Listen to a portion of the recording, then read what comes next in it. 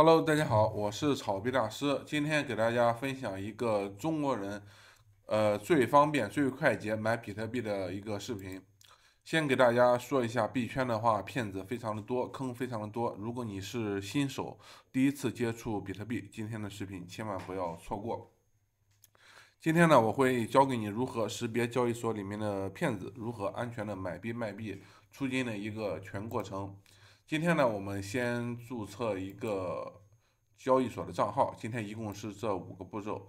先注册一个欧 E 的交易所的账号。先来给大家说一下什么是呃欧 E。我们国内的三大交易所分别是欧 E、币安、火币。选择欧 E 的原因呢，是它这边大陆用户可以注册，币安、火币不接受我们大陆客户。第二个原因呢，就是它的手续费非常的低。呃，邀请链接我会放在视频的下方。如果你用我的邀请链接去注册的话，可以获得价值二十元的比特币，还有十美金的返佣卡。最重要的手续费可以减免百分之二十，非常的划算。我们打开一下邀请链接，复制到浏览器里面，然后来到一个这样的页面。这边的话支持呃手机、邮箱注册一个就可以了。然后用我的邀邀请链接去注册的话，可以领取最高的话六万块钱的数字货币的一个盲盒。呃，注册完成之后，我们然后登录一下，看一下有没有注册成功。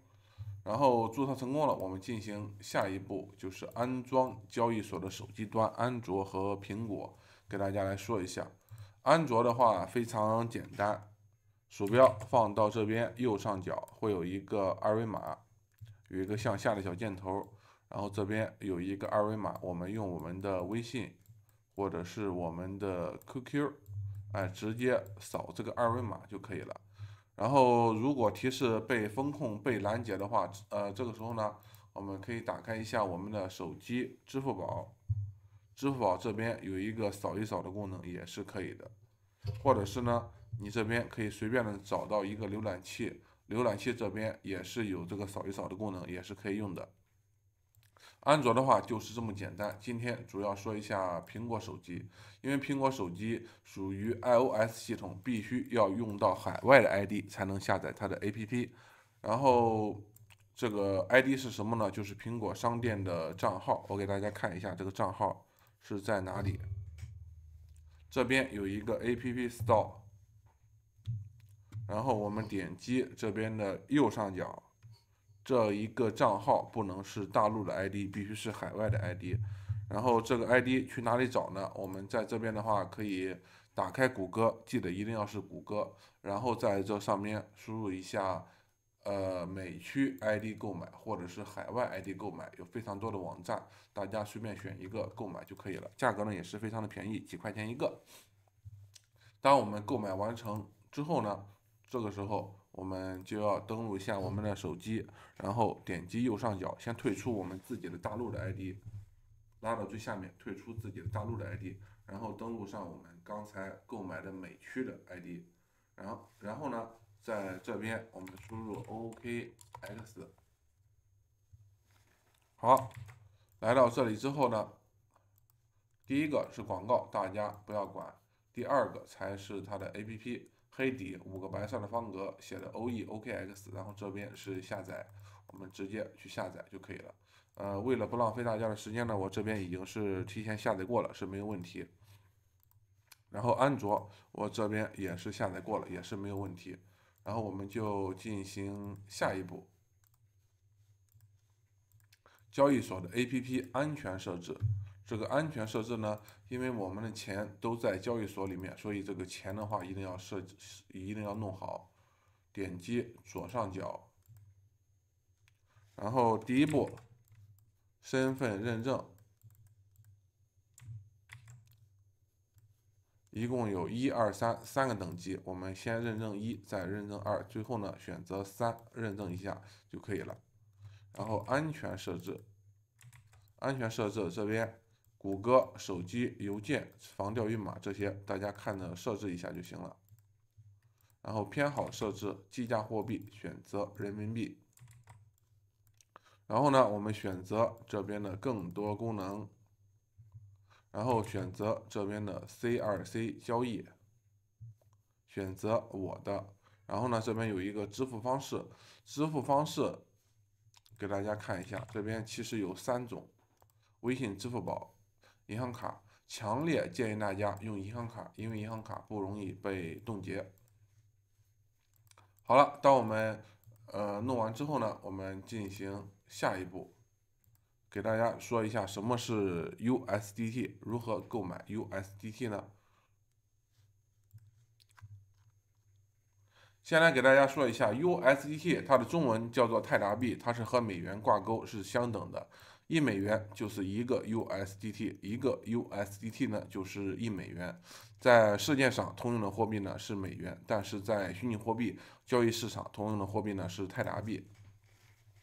比如我想去购买一些虚拟货币，像狗狗币、以太坊之类的，只能用 USDT 去购买。目前世界上任何的货币，不论你是美元、英镑、人民币，都是不能直接购买这些虚拟货币的，必须通过一个中间转换的货币。这个货币呢，就是 USDT。说白了，你想买虚拟货币，必须先去购买 USDT，才能购买这些虚拟货币呢。假设我有人民币、有美元、有英镑、有欧元，我想直接买这些虚拟货币，这种是不可以的。你必须先去购买了 USDT，才能购买这些虚拟货币呢。好了，给大家演示一下如何购买 USDT。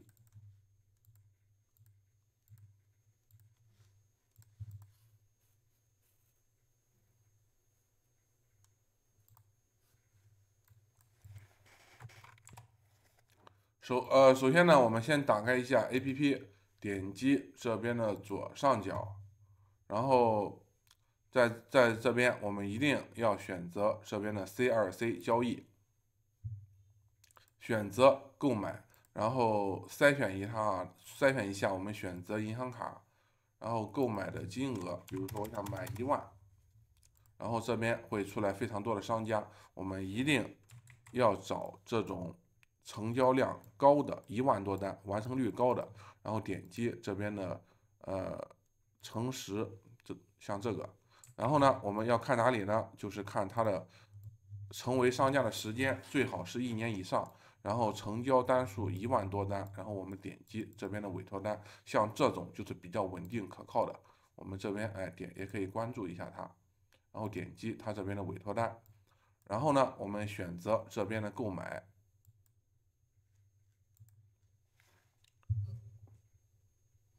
然后输入我们要购买的金额就可以了。我这边以截图的形式给大家演示一下。我们要购买一万块钱的，然后这边点击继续交易就行了。然后点击下一步，然后为了确保我们的资金来源合法，我们去下一步点击去验证。然后呢，这边可能会让我们呃提供一下近期的流水明细截图。然后我们找到我们的银行，找到我的账户。找到我们的明细，给他看一眼。假设我这边是我的这张流水明细，我这边买烟、买酒、买水果、逛超市的这些截图，给他看一眼。他如果感觉哎你这边是没有问题的，然后他就会把他的姓名还有卡号发给我们，然后我们给他转钱就行了。转完钱之后再点击我已完成转账。还呃还有一个转账的时候不要备注任何的信息。大约等个一两分钟的时间，或者是两三分钟的时间，我们的钱可能就会到账了。我这边以我的这个手机给大家来演示一下。我这边假假设我们这边已经到账了一百个 USDT，呃，然后大家有没有发现这边有两个账户，一个资金账户，哎，里面有钱，然后一个交易账户里面没有钱，这个是怎么回事呢？先给大家。来说一下，我们的钱现在呢是在我们的资金账户里面，资金账户里面只是说明我们的账户里面是有 USDT 的，但是不能去交易。交易账户顾名思义是交易使用的，钱放在里面可以用来交易，所以呢，我们需要把我们资金账户里面的钱全部放到交易账户里面。那如何放呢？点击这边的资金账户。然后点击这边的资金划转，然后选择从资金到交易币种的话，选择 USDT，选择这边的最大，选择确定。OK，我们来看一下，我们的钱现在资金账户没有钱了，钱是在我们的交易账户里面。然后我们选择最下面的这个交易，好，进入到了这个页面之后，给大家来说一下这是什么东西。这边是我们要买的币的种类，我们可以改成比特币、狗狗币、以太坊。然后这个一八零五是当前这个以太坊 ETH 这个的价格。这边是买入，这边是卖出，然后这边有它默认的话应该是限价委托，我们把它改成市价委托就可以了，因为市价委托的话成交速度快。然后我们把这边拉满，我这边的话是一百个 USDT 可以买零点零五个以太坊，然后呢我这边点击买入就行了。那可能有别的小伙伴会说，我这边我不想买这个。以太坊，我想买别的币，我比如说我想买比特币，那我如何买呢？在这边的话就要给大家介绍一个网站了，叫做飞小号。假设我想买比特币，我输入 BTC，以太坊 ETH，我想买 BNB，我输入 BNB 就行了。好，给大家来演示一下。假设我现在我想买 BNB，BNB，然后哎选择这边的 BB，然后 BNB。哎就行了。那我想买比特币呢？BTC，哎，选择 BB，然后点击这边的 BTC，会变成比特币的二八二零一这个价格。那我想买以太坊 ETH，选择 BB，然后选择以太坊就行了。这边会变成以太坊的价格。好，假设当前以太坊的价格是一八零五，我们买了一个以太坊。过两天以太坊涨了，我们想卖掉，那如何卖呢？哎，点击这边的卖出，然后选择市价委托，然后呢再给它拉满，再选择卖出就可以了。这样的话是不是低买高卖？我们是不是赚钱了？然后赚了一百个 USDT。那我现在想把这一百个 USDT，我想出金，想换成人民币。啊如何换呢？非常简单，我们先回到这边，点击这边的资产。现在我们的钱是在交易账户里面。刚才我们买币的时候呢，是从资金放到交易。我们现在想卖币了，想出金，哎，我们需要一个反向的操作，从资金从交易放到资金。好，选择交易，选择资金划转，然后从交易到资金，选择最大，然后点击确定。好，钱在我们的资金账户里面了。好，那没有问题了。然后我们选择这个左上角，选择这边的 C2C 交易，这边呢选择出售，然后选筛选一下，选择银行卡，点击确定。然后比如说我想买卖一万块钱的，哎，和刚才一样，我们在这里面筛选一下可靠的商家就可以了。为了不浪费大家的时间呢，我这边先暂停一下。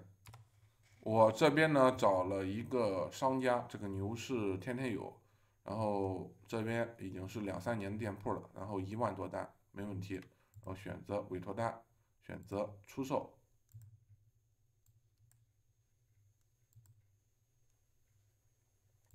我选择全部。好，我这边。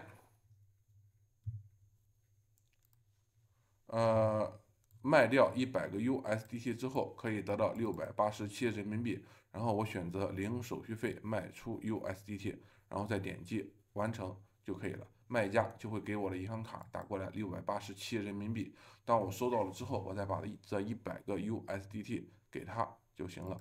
好了，是不是非常的简单？大家记得一定要学会这种筛选，筛筛选的话可以过滤掉。非常非常多的商家。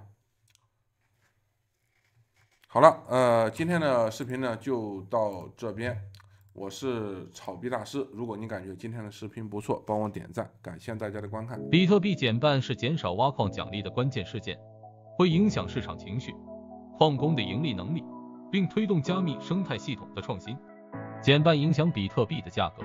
机构投资者在塑造市场对这一事件的反应方面发挥着重要作用。即将到来的减半可能会促使投资者探索山寨币，并导致区块链效率和交易处理方面的技术进步。距离备受期待的比特币减半事件仅剩一年时间，加密行业的专家和投资者正在密切关注其对市场的潜在影响。在以下专题中，B Crypto 深入探讨了减半现象的复杂性。它如何影响矿工，以及对整个加密货币生态系统的更广泛影响？减半是比特币协议中的一个基本机制，它旨在每二十一万个区块或大约每四年将采矿奖励减少百分之五十。这种减少有双重目的，一个是控制比特币的通货膨胀率，并效仿黄金等贵金属的稀缺性；第二是确保进入市场的新 BTC 的供应量可预测且不断减少。减半事件的主要目的是为比特币创造一个通货紧缩的环境，它逐渐降低了新硬币的铸造速度。这种稀缺性只在随着时间的推移保持 BTC 的价值，使其成为一种有吸引力的保值手段。因此，减半机制是比特币长期经济可持续性的重要组成部分。从历史上看，由于新 BTC 的供应减少，减半事件对比特币的价格产生了重大影响。例如，在2012年、2016年和2020年的减半事件中，比特币的价格在每次事件发生后的几个月内大幅上涨，因为市场参与者预计供应冲击和对现在稀缺资产的需求增加。目前，挖矿奖励为每块6.25 BTC，在预计将于2024年发生的下一次减半事件之后。挖矿奖励将减少至每个区块三点一二五 BTC。挖矿奖励的减少将进一步限制进入市场的新 BTC 数量，因此，随着需求在供应减少的情况下继续增长，这可能会推高价。然而，重要的是要注意，过去的表现并不能保证未来的结果。市场情绪、监管发展和宏观经济趋势等各种因素都会影响减半后比特币的价格轨迹。因此，市场参与者应以平衡的视角应对即将到来的减半事件。重要的是要考虑其历史意义和塑造当前市场格局的独特因素。专家预测，减半可能会导致 BTC 价格发生大幅变化，就像之前的减半一样。然而，全球经济状况、监管发展和机构投资者策略等因素会影响结果。在2012年的减半中，比特币的价格从二零一二年十一月的十一美元左右上涨到二零一三年十一月的约一千一百美元的峰值，标志着一年内的显著增长。在此期间，比特币还是一个相对较新的概念，市场主要由预见到去中心化数字货币潜力的散户投资者和早期采用者推动。二零一六年减半见证了比特币价格从二零一六年七月的约六百五十美元上涨至二零一七年十二月的近两万美元。这一时期的市场情绪主要看涨，主流媒体关注度的提高，首次代币发行 ICO 的激增以及机构投资者的进入推动了这一趋势。尽管如此，监管方面的发展，例如打击 SU 和试图对加密货币交易所施加更严格的规则，增加了一层不确定性，并加剧了市场波动。二零二零年减半事件见证了比特币的价格从二零二零年五月的约九千美元上涨至二零二一年四月的历史新高约六万四千美元。二零二零年减半的特点是机构兴趣增强，大公司和投资基金进入加密市场。COPAD 一九大流行在塑造市场情绪方面也发挥了重要作用。随着全球经济衰退和史无前例的财政刺激措施，引发了人们对通货膨胀和货币贬值的担忧。对比特币作为数字价值存储的需求不断增长，尤其是机构投资者对市场拥有相当大的影响力。他们对减半事件的反应可能会对比特币的价格和更广泛的加密货币市场产生重大影响。例如，在2020年减半期间，机构投资者对比特币作为对冲通胀和宏观经济不确定性的兴趣日益浓厚，导致其价格上涨。即将到来的减半事件将使挖矿奖励减少百分之五十，给比特币矿工带来巨大的财务压力。这种奖励的减少可能会迫使矿工调整他们的运营，以保持盈利能力并继续支持网络。为了应对减少的奖励，矿工可能会选择升级他们的设备，投资于更节能和更强大的硬件来优化他们的采矿作业。通过利用最新技术，矿工可以降低能源消耗和运营成本，同时。增加他们成功挖掘新区块并获得奖励的机会。然而，与升级设备和提高能源效率相关的成本增加，可能会不成比例的影响较小的矿工。这些较小的挖矿业务通常缺乏与资金充足的大型矿池竞争的财务资源，结果一些较小的矿工可能被迫退出市场，他们还可能被迫与更大的采矿业务合并。以共享资源和降低风险，小型矿工的这种潜在退出可能会导致挖矿进一步集中化。网络中越来越多的挖矿权被少数大型矿池控制，这种集中化对网络的安全性和弹性构成了潜在风险。它可能使网络更容易受到攻击或操纵。更高程度的中心化也可能破坏比特币的核心原则之一——去中心化，通过将对网络的影响集中在少数实体手中。即将到来的比特币减半事件。预计将对整个加密货币市场产生更广泛的影响。随着挖矿奖励的减少，投资者、矿工和用户可能会将注意力转向提供更好的挖矿奖励、更有效的共识机制或迎合特定用力或行业的独特价值主张的山寨币。这种重心转移可能会增加人们对山寨币的兴趣和采用，因此影响他们的价格、市值和在加密货币生态系统中的整体相关性。例如。投资者可能会使用不易受影响的加密货币来分散他们的投资组合，以将事件的影响减半。其中包括那些使用股权证明 Plus 共识机制的机制，这些机制不依赖于网络安全和令牌分发的挖掘。此外，减半事件可能会成为区块链行业技术创新的催化剂。开发人员和研究人员可以探索优化挖矿效率、降低能源消耗和增强交易处理能力的新方法。这些创新可能会导致出现新的共识机制、第二层扩展解决方案和区块链架构，以解决现有网络包括比特币的当前局限性。减半事件还可能促使对当前市场动态进行重新评估，它可以引起人们对工作量证明和网络的长期可持续性以及采矿作业的影响的关注。这种审查可以鼓励该行业采用更可持续和更高效的技术，它还可以激励开发新的解决方案，以平衡权力下放。安全和环境问题。此外，减半可能会影响加密货币领域的监管发展。随着该事件引起投资者、政府和金融机构的关注，它可能会引发围绕加密货币适当监管框架的讨论，以及需要更明确的指导方针以确保市场稳定、投资者保护和遵守现有金融法规的必要性。即将到来的比特币减半事件对加密市场具有深远的影响。随着倒计时开始。市场参与者必须密切关注事件，并相应调整策略。许多投资者预计会出现与之前减半事件类似的看涨趋势，BTC 价格将创下历史新高。这种乐观情绪源于加密技术的日益普及、机构兴趣的增长，以及人们将 BTC 视为对冲通胀和全球经济不确定性的工具。但是，一些警示因素可能会影响围绕2024年减半的市场情绪、监管发展。例如，潜在的中央银行数字货币 CBDC 和更严格的加密货币交易所和钱包规则，可能会给市场带来不确定性和波动性。此外，围绕比特币挖矿的环境问题日益严重，以及更节能的加密货币的兴起，可能会影响投资者对比特币长期价值主张的看法。在2024年减半期间。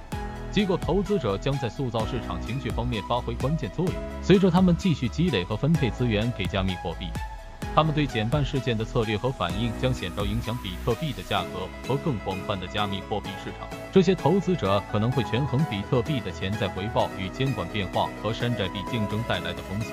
比特币，惊世之作，骇世之功。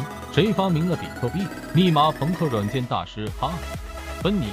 是第一个坚定支持比特币的大师级人物。他和所有人一样，没有见过比特币的发明者中本聪，也没有听到过他的声音，只是通过邮件和中本聪神交多年。他曾经这样描述中本聪：今天，中本聪的真实身份已成为一个谜。但当时，我想我是在和一个非常聪明、真诚的日裔青年打交道。请注意，尼克说的是在当时。我想，那么后来呢？他还这样认为吗？尼克没有再详细说。显然，在写这段话的时候，他已经不这样认为了。他说那是一个谜。之后不久，他就去世了。尼克·萨博是举世公认的比特币思想的发明人之一，他也是极少数知道中本聪是谁的人之一。当被追问到谁是中本聪时，萨博滴水不漏，却又欲说还休。我不打算进一步评论此事。我认为他做出了这么伟大的贡献。我想尊重他保留隐私的愿望。萨博知道中本聪有着隐身的愿望，因为中本聪的伟大贡献，萨博尊重他的这一愿望。英雄识英雄，惺惺相惜。不只是哈尔、芬尼。开始的时候，绝大多数人都被误导了。中本聪，姓中本，名聪，当然应该是日本。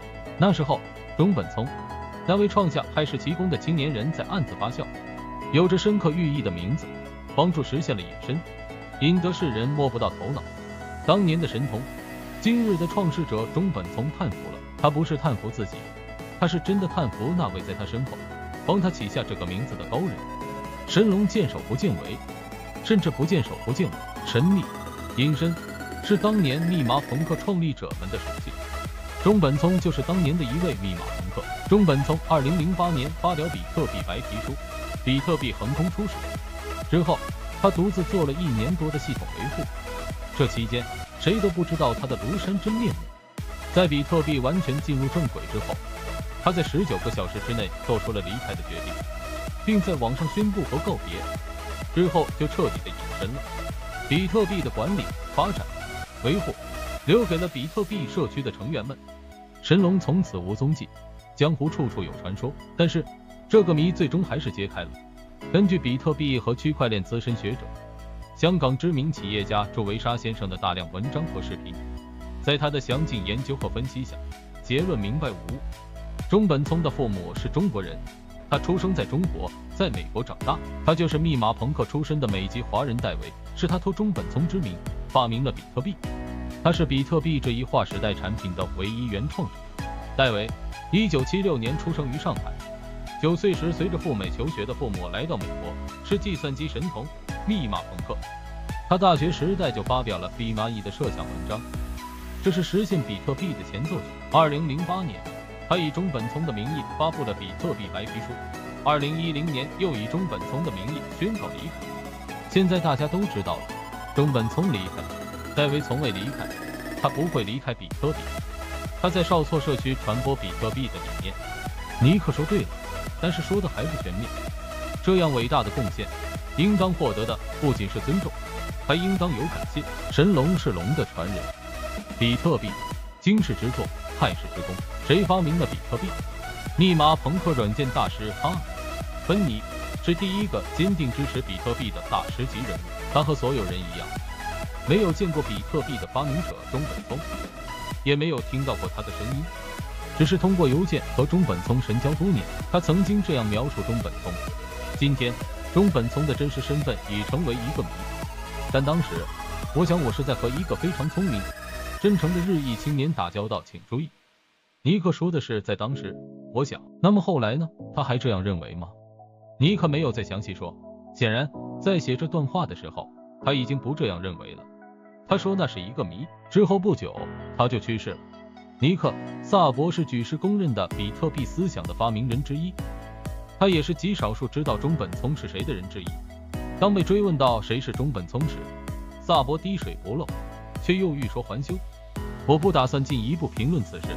我认为他做出了这么伟大的贡献，我想尊重他保留隐私的愿望。萨博知道中本聪有着隐身的愿望，因为中本聪的伟大贡献，萨博尊重他的这一愿望。英雄识英雄，惺惺相惜。不只是哈尔、芬尼。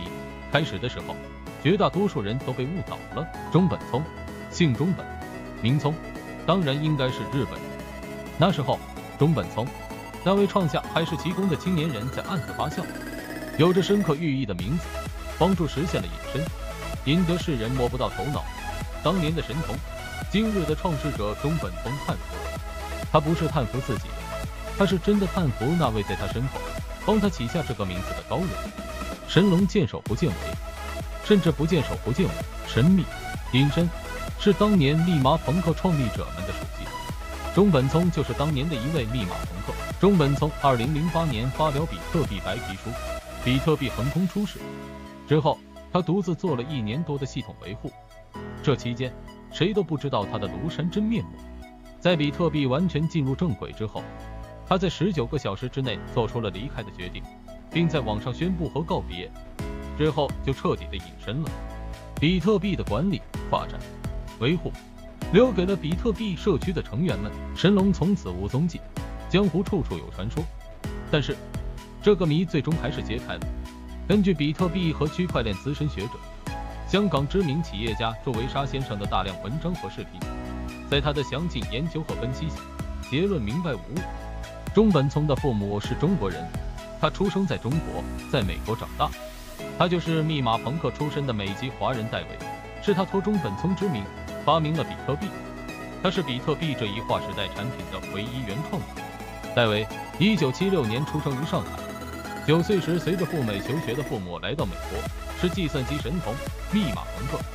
他大学时代就发表了比蚂蚁的设想文章，这是实现比特币的前奏曲。二零零八年，他以中本聪的名义发布了比特币白皮书。二零一零年，又以中本聪的名义宣告离开。现在大家都知道了，中本聪离开了，戴维从未离开，他不会离开比特币。他在少错社区传播比特币的理念。尼克说对了，但是说的还不全面。这样伟大的贡献，应当获得的不仅是尊重，还应当有感谢。神龙是龙的传人。